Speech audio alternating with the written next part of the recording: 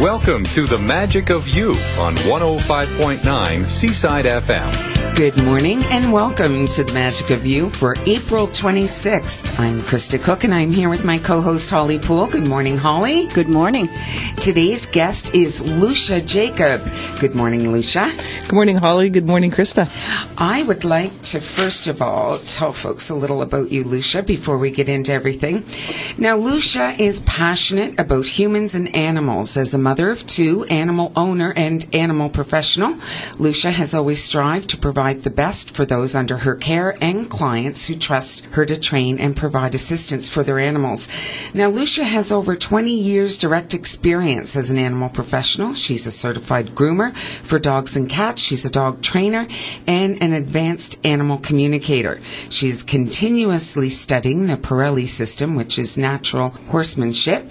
Her range of experience includes animal education, dealing with animal illness, behavioral issues, and animals transition through death. Now, Loesje has also worked with and mentored a number of veterinarians worldwide as a consultant and provides valuable experience in assisting clients to embrace the value and integrating veterinary and energy medicine. Wow, good morning. What a pleasure. So glad you could make it.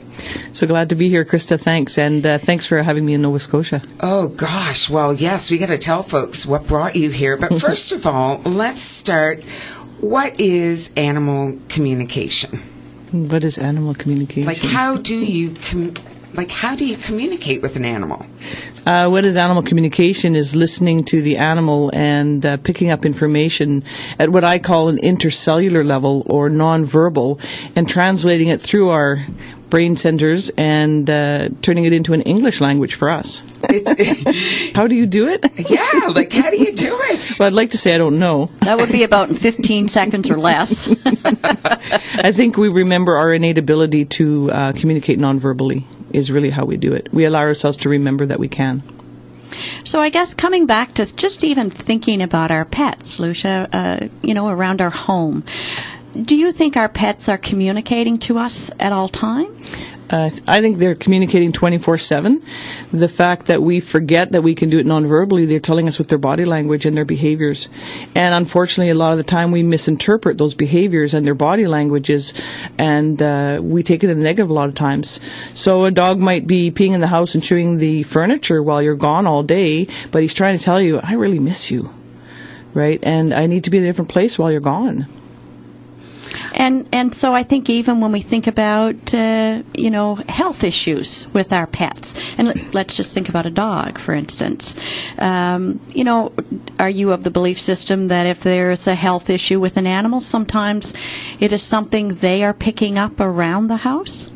Uh, number one, I think that the animals are trying to tell us when they have health issues, and they're trying to use their body by possibly chewing in one area a lot, or uh, with cats, they'll uh, go to the bathroom outside of the litter box, trying to say they have a bladder infection. Number one, I think they're trying to tell us all the time if we could listen, and I do agree that they are taking on our illnesses and imbalances as a form of trying to help us holographically, they're in that energy field so much that their body starts to manifest the similar illness. Hmm. Amazing. They are. Okay, now I have to ask you.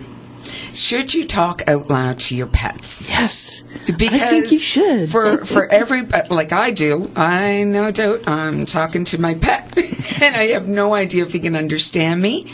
What is the good behind that?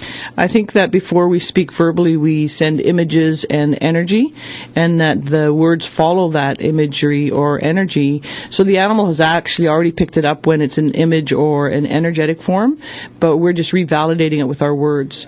So therefore, it sounds like they're listening to us talking, but they've already picked it up. So the speaking is careful what you say. Or careful what you think. careful what you wish. oh my. I've often thought too, you know, sometimes if you want the cat to go outside and you think, oh, well, I'm going to fool the cat. But the cat's already tuned into that, right? Yep. And the, and the cat already knows when you're going on a holiday a week or two before. Right. That's why they jump really? in the suitcase and yeah. doesn't uh, allow the suitcase to be packed. Basically, exactly. Or, or remind you where you've left your suitcase from the last trip. Mm-hmm. But how can that be? I mean, I, I hear your words, I understand what you're saying, but really. How quantum do you want me to get? well, you know, I guess I, I need it to be uh, a little deeper. I need to understand. So, quantum physics involved here? I think it's hugely involved, and it's exciting that we're at a time when the quantum physicists are helping to validate how and possibly why we're picking up information, and particularly precog, as the animals have strong precog. And what is precog? The precognizant abilities to know something's going to happen before it physically happens. So, for instance, with our other dog at home, his name is Button. He honestly, he will go to the door, and within probably three to five minutes, whoever we're expecting to come home comes home. Yeah. Rupert Sheldrake uh, wrote a great book called uh, When Dogs Know When Their Owners Are Coming Home. And he did a study that uh, he validated on video and uh, that animals know when you create the thought at work to come home. And they're already waiting at the thought, no matter where you are in the world. Wow. Yeah, that's, that's really all. quite uh, It leaves me interesting, isn't it? Because, Oh, my but it reminds me, you know, I was in the San Francisco earthquake in 1989, and about uh, 45 minutes, you could time it. 45 minutes previous to any of the aftershocks, the dogs would start barking, and they would be crazy. Yeah, let's talk about the elephants and the tsunamis. Oh, okay, let's. You know, how do they know that the tsunami is on its way and they try and get the people to safety? And at the simultaneous, our animals at our own homes, no matter where they are in the world, a lot of them will pick up that tsunami, even if it's at the other end of the world. When we look at our animals and their behavior the day or a few days or even a week before these uh, cataclysmic events, they are feeling it in the field. It's already unfolding in uh, the what what some people call the field. Uh, Lynne McTaggart wrote the book The Field. The matrix or the energy configuration in the universe. They're picking up on that. So maybe we're perceiving reality in the past when we see it happen, and they are living in the now of when it already is. I have totally underestimated my pets. Yes, we have. And, you know, I am traveling all over the world teaching a class that I call Linking Awareness, Intercellular Communication, because I think it's time that we listen to the animals and really truly listen and glean some wisdom from them uh, and uh, realize that they've been helping us for eons. okay, when you say now our listeners are out there going, okay, she wants me to listen to the animals. what exactly? Does she just want me to sit here and listen to them bark? Like, what exactly, what should they look for? I talk about uh, going into your imagination, remembering when you were a child and you daydreamed and you were in a world of imagination in your heart's eye, actually, not your mind's eye, but in your heart. And uh, I met a shaman in the jungles of Malaysia who had the wild tigers laying beside him. And when I asked him, how do you do that? Like, how do you talk to them? And he giggled, and the translator giggled and told me it's all in his imagination. He imagines the tiger there, and then before you know it, the tiger shows up and lays beside him. It's amazing on the on the I just don't know what to say. I wish you guys could see her face. but it's just I, and I think sometimes when when we look at our animals, I mean, how often have we heard it's just a dumb animal, which is so sad. Isn't it sad? Um, but when we But look, you're just a dumb kid when you can talk to them, aren't you? I agree. I agree. And I think it's also sad too that, you know, intuition of any kind is thought of how silly that is. Yeah. When in reality, if our subconscious just allowed ourselves to take over that intuition and to listen. And that takes me back to one of your first questions is uh, how can we once again uh, listen to our animals? We have accumulated lifetimes of belief systems, ideas, attitudes around the fact that it's not possible. So even as a child, if I come running down the the yard and say to my mother, "Oh, my dog, my dog, he he wants to go down the street and play with his friend. Can I take him right now?" And she goes, that must be your imagination. That's crazy. That's silly. Your dog can't talk to you. That starts to create these belief systems that hold us back from the potential that we are. Mm-hmm. And it shuts down the subconscious. You know, it, Right. shut it shuts down an aspect of ourself that is capable of doing amazing things. And that is so sad. I mean, I think that's what I've loved about all the guests I've met doing this show. Totally have opened awareness so that you don't shut down and that you know it is there and that it exists. I really agree, and, and that's why I think that this class got coined linking awareness because we have the ability to link our awareness that we think is separate with anything, whether it's nature, animals, in utero children, nonverbal children, and we can link with them and become one. And so within our imagination, there they are having a conversation with us. Is that why animals are so good for children? You know, you have children, it's usually, oh, we get an animal. Or um, there's a lot of talk about seniors having access to dogs or cats. What does that do for them? I think it should be mandatory, first of all. Yeah, I think uh, dogs, cats, horses, dolphins, just to name a few that we're aware of, have an amazingly huge heart field. And when we talk about the heart and living in the now, the animals are masters. So this energy of the heart field creates a resonance that when we merge with it or we're close to it, it changes our blood pressure, it changes our heart rates, it changes our state of mind. It's healing. And so, would you suggest, let's say you have cats or dogs, kind of hard to do this with a horse, but anyway, just, just sort of sitting on the floor sometime and just chatting with them, just having a chat. You know, how you doing? What kind of a day are you having? And um, I think it's therapeutic. Uh, and I think we can do it with a horse, and a lot of us do just sit out in the field with the horse in their energy field. Whether we're not speaking or whether we're speaking, we're communing with them, and we're taking that time just to be. And that's one of their big messages: is get back into the heart and just be. You've forgotten. You're so busy in the world, running around, being busy all the time, thinking you're doing things. I love that thinking you're doing things. you know, when you're just going in circles. and as for talking to them, I think it's therapeutic. How many of us never talk to any anybody about things in our lives, but we'll sit quietly when no one's around with the horse, the cat, the dog, the bird. Let's not forget the birds, mm-hmm. and we'll tell them what's going on. That letting go and that speaking what's holding uh, what we're holding on to. They're listening, you know, and then tell them, hey, thanks for listening, but you don't have to hold on to it either. Exactly. There's going to be a whole conversation. I have a rabbit, two dogs, and two birds. I'm going to have an awful and big chat don't, tonight. yeah, and the turtles and the mice and the gerbils. You know, your kids have some amazing pets too. They're spiders. Oh yes, oh yes, They're geckos. that's right. So you believe anyone can access information from their pets? I'm at the point now where I know. okay, yeah. so the fact is, let's make that a definite statement. You are facilitating, and there is a workshop coming up mm-hmm. that is through Animal Talk, which is part of Body Talk. Now, I would like. I, I just need to clarify okay, that. sorry. So, uh, the Body Talk system right. has courses that I do teach, uh, beginners and advanced, and it's Body Talk for okay. Animals. Uh, and then, because of my years of animal communication and realizing that I was getting information with the animals, uh, I finally relented to the animal's voice and said, I'll put together a class called Linking awareness, intercellular communication. But that's really what led me to the body talk system because here I was getting all kinds of information from the animals and what do you do with it? I work hand in hand with the veterinarians and the veterinarians and I would sit there sometimes and go, there's something missing. There's a gray area.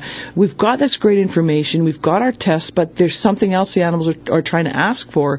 And body talk came around and now I'm being able to implement body talk system as an energy consciousness based uh, healing modality modality and support the animal's healing process. Thank you. We are going to come back in just a moment and we are going to talk more about this fascinating subject.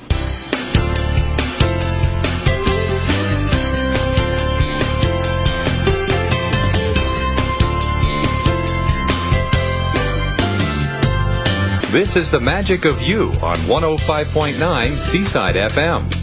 Welcome back to the last half of the Magic of You for April 26th. We have the privilege of having Loesje Jacob in the studio with us, and we're talking about animal communication. We are talking about linking awareness with animals and humans, and we're also going to touch on body talk access for animals. Now, I know that you were mentioning um, before we went on break about the linking awareness. Now, you have a body talk access for animals coming up. Would you like to tell folks about that?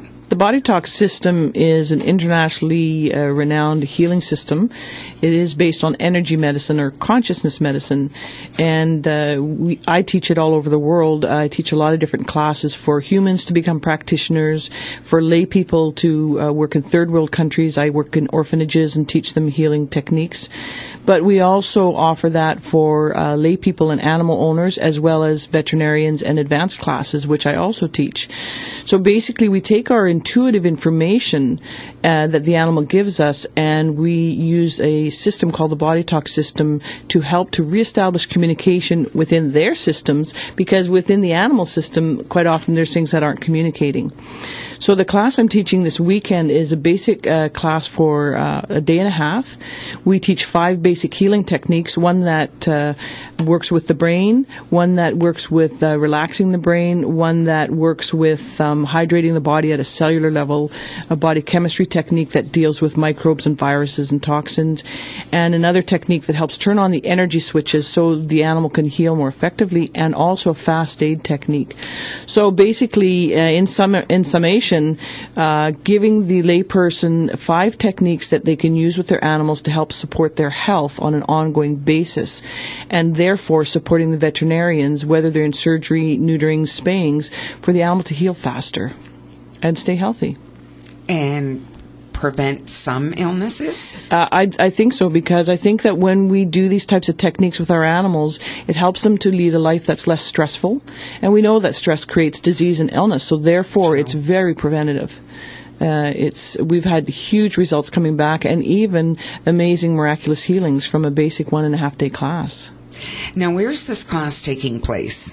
Well, that's why I'm in Nova Scotia. I've been invited by Namaste Nova, which is a beautiful up and coming retreat in the area, and they are hosting all kinds of classes throughout the year uh, body talk, linking awareness. Um, they're going to be doing a lot of amazing work with the horses because horses are amazing healers.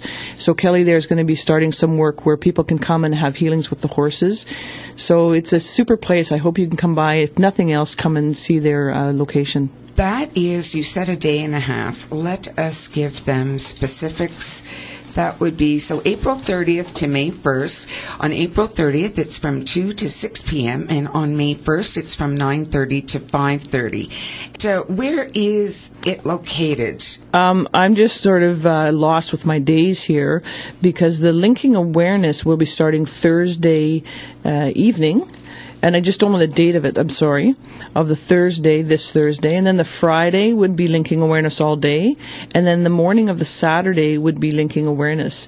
Then we go into the Body Talk Access class, which is the Saturday afternoon, and all day Sunday. And you're welcome to please bring your own dogs and cats and birds.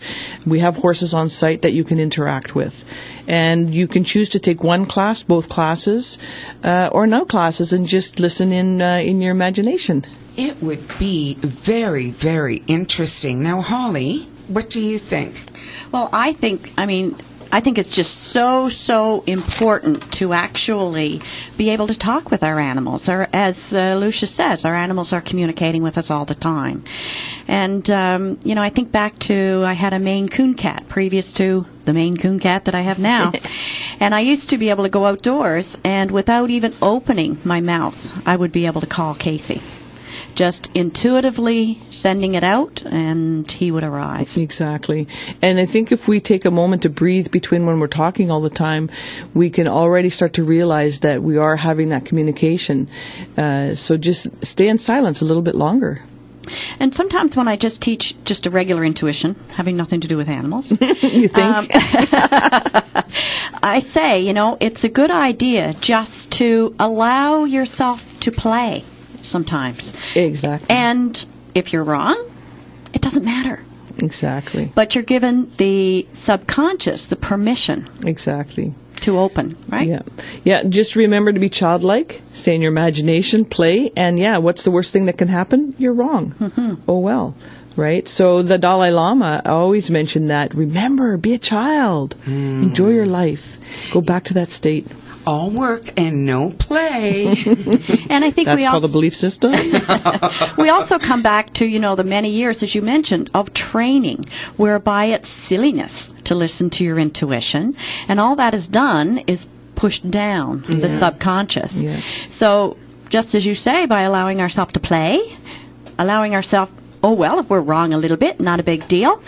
We're opening Yeah. that subconscious. Yeah, and I would welcome uh, some of you that are listening to come on some of my trips where we go to southern Sumatra and work with 63 elephants and listen to the element elephants. 63 63 elephants. elephants, yes, How Asian wonderful. elephants. And How uh, magnificent. it is amazing. And then we do trips like we go to Bimini and we talk to the dolphins and we interact with them. And I'll be going into Kruger Park in Africa and working with the wild elephants and the lions. And then we work with our domestics when I'm in locations like this. So the sky's the limit. If we could come back, the the veterinary uh, Yes, si- please. side of life. Thank you. Um, do you think that's opening any for us? Yes. I am so blessed to be working with amazing veterinarians all over the world. And uh, one of my favorites that I like to talk about is Dr. Lai in Singapore. We are working together open an integrative practice, which includes body talk, animal communication, massage therapy, veterinary medicine, and all kinds of uh, complementary. And, you know, the word that everyone's been using in the past has been alternative. Well, I would like to use the word complementary and integrative because the veterinarians will use people, whether it's for medical intuitive work, to help listen to the animal so the animal has a voice in relation to their illness and what they're going through. So the veterinarians are stepping on board and uh, it's just a beautiful teamwork. I think we're seeing a change in all of the healthcare system. I'm certainly hoping that we are. And uh, if we can begin or work with uh, starting with the vets, with the Yes. animals, wouldn't that be fantastic? Yeah, and we are, and I- and I would like to say to any veterinarians who are listen, listening, uh, thank you very much because I realize that we've been amazingly trained and from a left brain stance. So you're opening your minds, and the animals are thanking them in their clinics.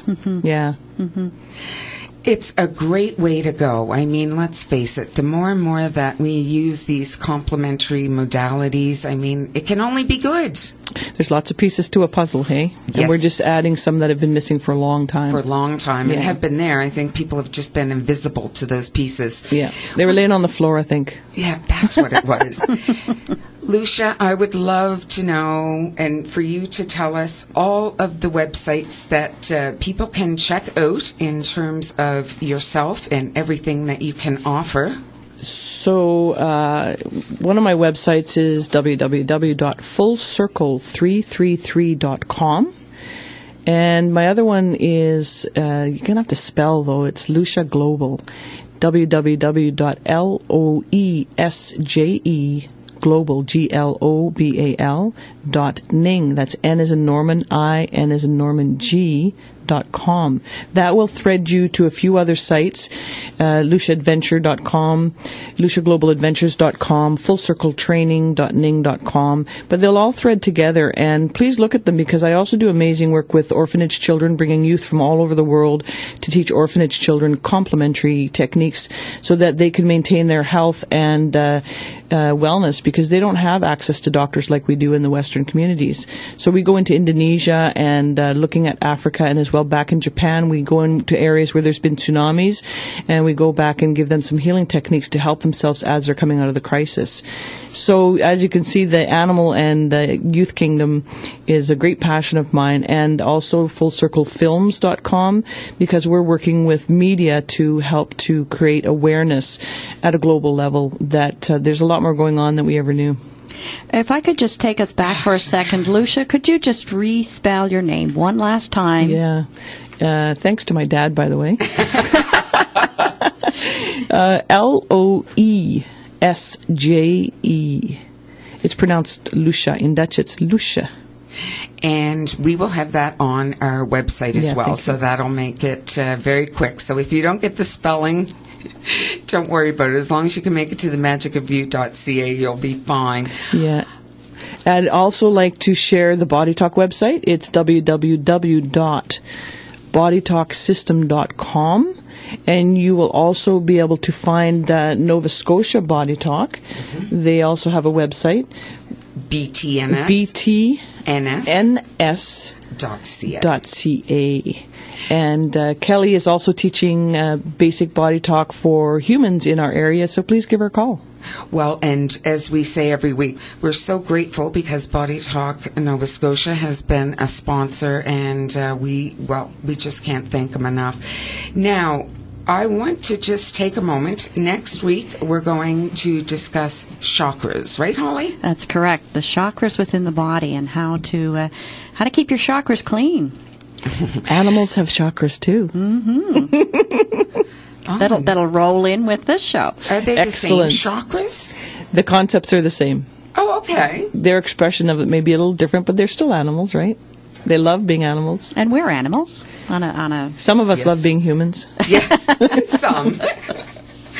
So next week we'll be talking about chakras. Okay, ways to reach us. If you go to themagicofyou.ca, you'll be able to access YouTube, iTunes, Facebook. The shows go on Blog Talk Radio as well. Um, and we have the guest link. We also always sort of have our promo for the following week so you know who's coming up. I would say, have I forgotten anything, Holly? your quote. Oh, I actually I have three quotes to do with animals, and I have to try to pick the best one. I might have to read a couple of them. All right, the quote going out is. Animals are such agreeable friends. They ask no questions. They pass no criticisms. That quote was by George Eliot. How about this? An animal's eyes have the power to speak a great language. And that's by Martin Buber. Until next week, remember, we all have the magic within us to create the reality we desire. Take care. Have a great week.